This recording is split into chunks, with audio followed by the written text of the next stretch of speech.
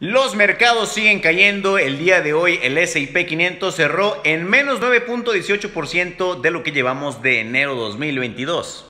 Y el índice Nasdaq, uno de los más golpeados en estos últimos días, cerró en menos 14.5 en lo que llevamos de enero 2022. Algunos periódicos de finanzas como Bloomberg ya comentan que el Nasdaq se acerca a su peor mes de enero en su historia.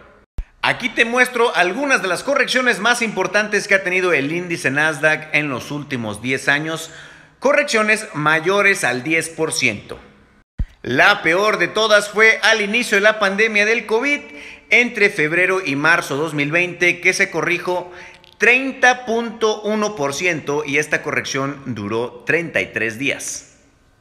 La segunda más grande fue de agosto a diciembre 2018 y en ese momento se corrijo un 23.6% y esta corrección duró 117 días. Otra corrección importante fue de abril a agosto en el año 2011, una corrección de más del 18% y que duró 112 días. En cuanto a correcciones mayores al 10%, desde 1970 y hasta la fecha, las correcciones mayores al 10% han tenido un promedio de 19.5% y han durado un promedio 75 días. En cambio, el promedio de las correcciones mayores al 10% después de una crisis global financiera han sido en promedio del 15.2% y han durado en promedio unos 53 días.